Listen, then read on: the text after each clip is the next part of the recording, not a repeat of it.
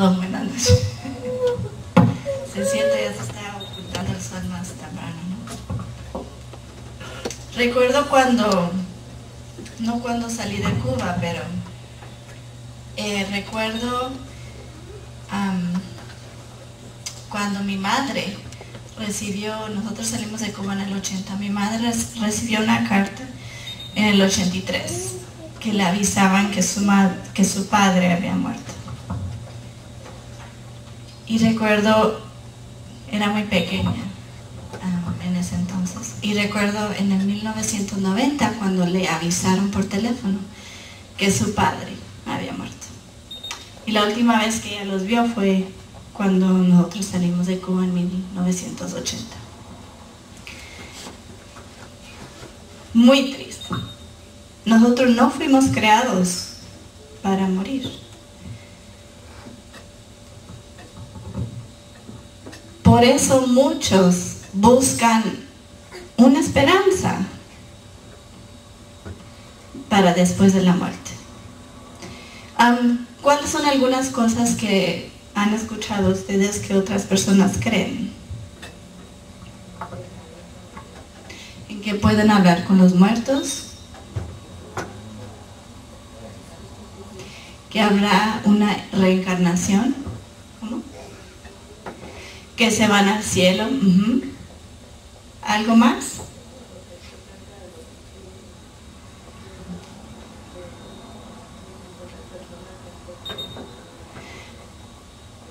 Sí, la gente, porque no, nos queremos morir, la gente, algunos se han tratado de, de buscar formas de el amor congelarse para después que la ciencia busque algo para que los congelen y puedan vivir eternamente. Pero, ¿por qué creen en todo eso?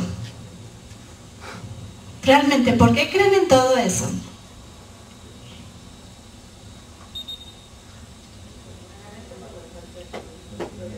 Conocimiento y yo creo que aún más profundo es que sienten la necesidad de una esperanza, porque no fuimos creados para, para morirnos, ¿verdad? Eh, quiero repasar rápidamente lo que dice la Biblia. Claro, nosotros creemos en dos resurrecciones. Una, las dos tienen totalmente diferente resultados. Una es para vida y la otra es para muerte. La primera dice, los muertos en Cristo resucitarán primero. Esta es la primera resurrección. Y esta ocurre cuando? Cuando Cristo venga. Y la segunda, ¿cuándo va a ocurrir? Después de los mil años. ¿Y quiénes van a resucitar en esa resurrección segunda? Los muertos. Sí. Los, los muertos malvados. Que,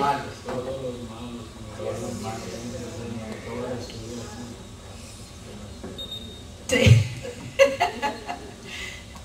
Muy cierto, los muertos, hermano.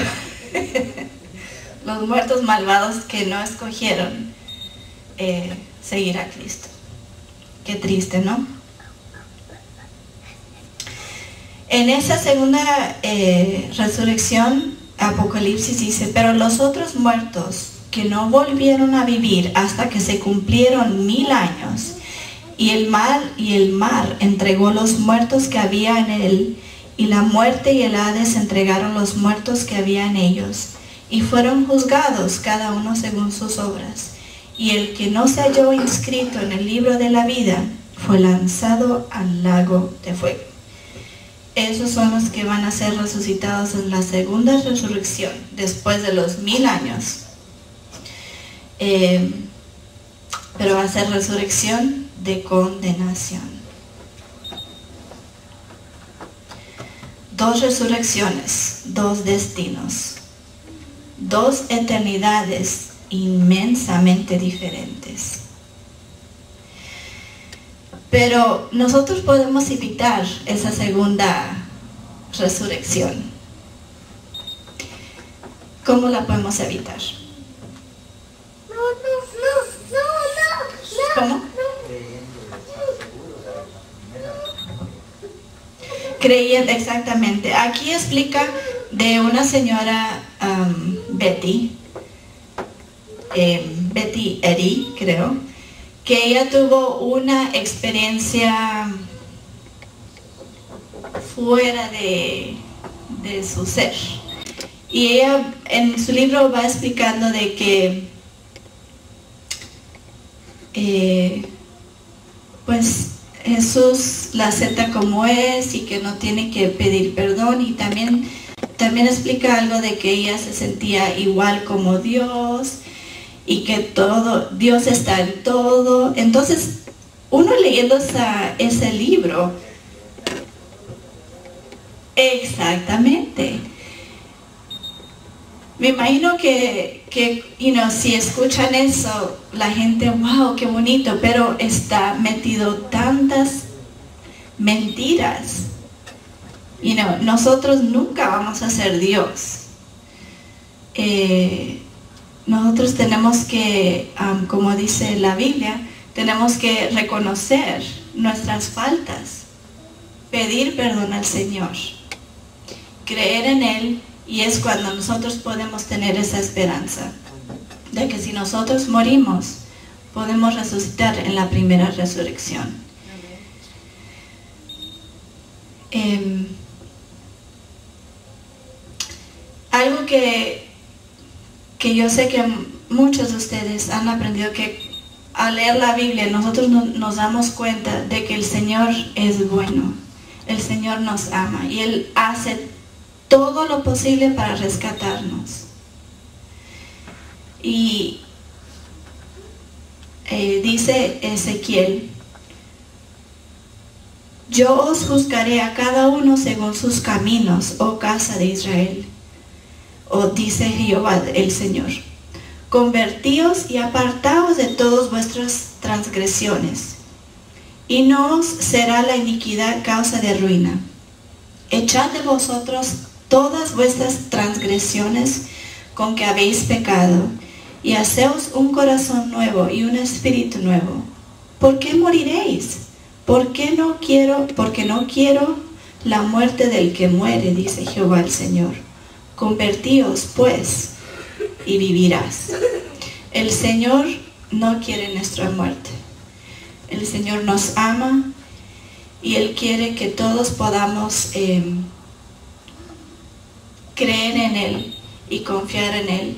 Y si un día nosotros tengamos que pasar por esa muerte que Él nunca quiso que pasemos, él nos da la esperanza. La esperanza.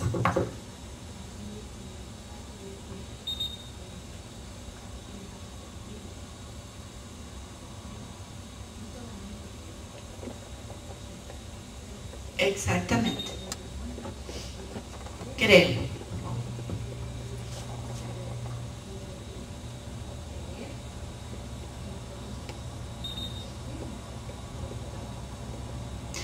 Exactamente. Hay que arrepentirnos y hacer la voluntad de Dios. Cuando yo estoy algunas veces con mis niños, yo les digo, y no hagan esto, no hagan lo otro. Y, y no, ellos alguna vez les digo, ustedes no van a entender hasta que ustedes sean padres, pero todo lo que yo les digo que no lo hagan, es para su bien. Y no, no hagas esto, te puedes lastimar. Y, a la, y algunas veces nosotros, cuando el Señor nos pide algo, estamos, ay, pero ¿por qué? Si es tan rico o tan, y no, se ve tan atractivo eso, ay, porque el Señor no quiere, pero es que el Señor, Él sabe más que nosotros. Así que si el Señor nos pide que no hagamos algo, que no comamos algo, es solo para nuestro bien no porque Él no quiera que disfrutemos las cosas de este mundo. Él quiere que disfrutemos, pero lo bueno. así que sí, como dijo Tamara, hay que arrepentirnos y seguir al Señor y obedecerle en todo. El mundo está lleno de estas gran mentiras, del, de lo que pasa después que uno muere. Y saben, uno tiene que estar aferrado a la Biblia, no a lo que cree mi esposa, mi mamá, mi papá. No, uno tiene que uno solo buscarle y les digo a mis hijos, y no en el día de mañana tienes que creerlo por ti. Tú búscalo, tú lee y créelo por ti mismo. Si mami te lo dice y, es, y no mami te lo da, con, you te dice lo que es cierto, pero tú tienes que creerlo, tú tienes que buscar las verdades en la Biblia.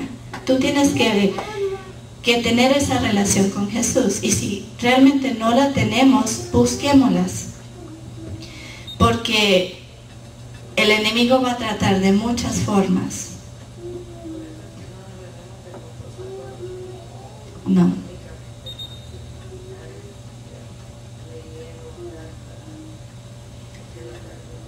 Exactamente. Y la única verdad está en la palabra de Dios. ¿Perdón? ¿Cómo? Oh, sí. Sí, exactamente. Tengo un primo que lo encontramos en el ABC y le digo, oye, primo, ¿qué tú haces aquí? Me dice, es que estaban en Carolina del Norte y no sé, un señor me empezó, ahí en la iglesia adventista me empezó a decir que pues que la Trinidad, pues la Biblia no, no, que no habla acerca que, que es verdadera la Trinidad y tampoco la hermana White dice.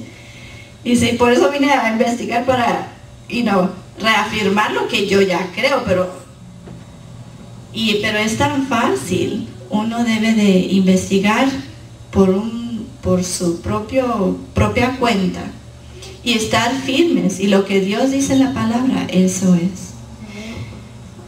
Pero qué linda la esperanza. Yo sé que algunos hemos perdido seres queridos, unos más cerca que otros.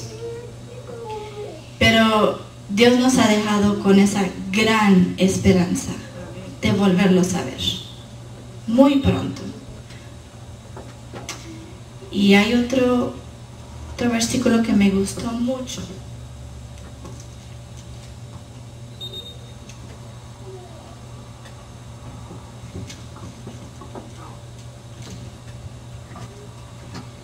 Que dice, el Señor mismo con voz de mando, con voz de arcángel y con trompeta de Dios, descenderá del cielo y los muertos en Cristo resucitarán primero. Luego nosotros, los que vivimos, los que hayan quedado, seremos arrebatados juntamente con ellos en las nubes para recibir al Señor en el aire. Y así estaremos siempre con el Señor. Amén que el Señor, eh, el Señor nos está buscando todos los días. Acerquémonos a Él. Es eh, la fuente de la verdad, de la vida. Y si nosotros, eh, como dijo Tamara, nos arrepentimos, confiamos en Él, no tenemos por qué temer, aún de la muerte. Porque el Señor es Señor de la muerte. Él ya venció eso. Y si tenemos también a amigos, compartamos la verdad con ellos. Yo sé que yo tengo mi vecina que apenas eh, perdió a su mamá y estoy eh, con ella. Algunas veces es difícil, uno no dice, si le digo esto, ¿qué me va a decir? O porque uno ya sabe que cree otra cosa, no. Pero el Señor te va a dar las palabras. Uno se lo pide y uno con amor le puede enseñar la, verdad. Y el Señor los bendiga, que podamos siempre, siempre confiar en Él y estar seguro en la palabra de Dios. Que nada nos desvíe del camino derecho. Dios los bendiga.